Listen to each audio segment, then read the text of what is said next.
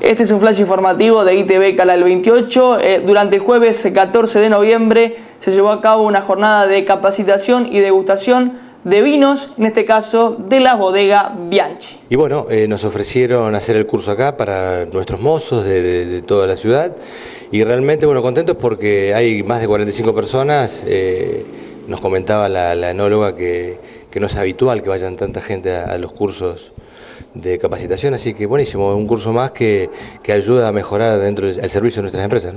Bueno, la verdad que un año fantástico, realmente muchísimo trabajo ha sido. Eh, le pusimos mucho empeño a toda la comisión directiva y contentos, contentos porque hemos hecho muchas cosas realmente en el balance que, estamos haciendo hoy para tratar de hacer, a ver si hacemos un, pequeño cóctel a fin de año. Eh, bueno, terminamos el salón de, usos múltiples, hemos hecho muchos eventos de capacitación, hemos logrado reinsertar en muchos aspectos el tema de la asociación hotelera.